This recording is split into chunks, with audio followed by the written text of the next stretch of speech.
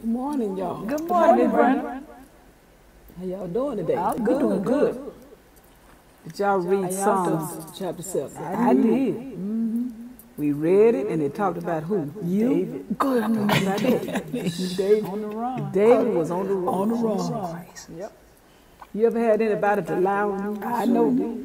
They lying. Say all manner of evil against you, and all you trying to do is They lie. be talking about you, big brother. They sure do. That's what David is in chapter 7. Mm-hmm. I'm praying for you. Take But one thing. I like about chapter 7 is David prayed. Mm-hmm. Go ahead, brother. And I found myself in a situation just like David. Better pray.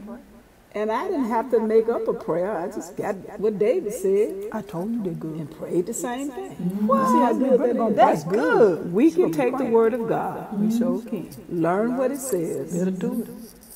pray the same prayer, Same- and get the same relief. Right. Get the same result. That's right. Go ahead. Because God answers prayer. He does. your teach y'all this song. Go ahead. Say God answers prayer. God answers prayer. God answers prayer. God answers prayer.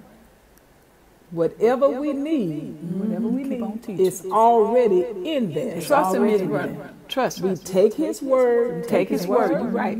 and we learn what it says. And we learn what it says. We get the word. We get the word, like you said. if only we obey. If We got to obey. God answers prayer. Yes, he does. So I'm gonna teach y'all this, this little Go ahead, song. Miss Y'all Brenda. ready? Go ahead. You keep doing your thing. God answers prayer. God answers prayer.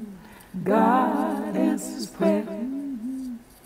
word of God is ready. It's ready. Your answer's already there. Already there.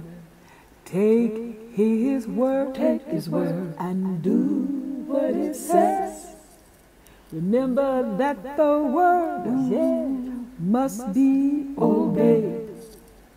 God answers prayer. Y'all. God answers prayer. Y'all play that right. Brenda. God answers prayer. He gonna work us in his word.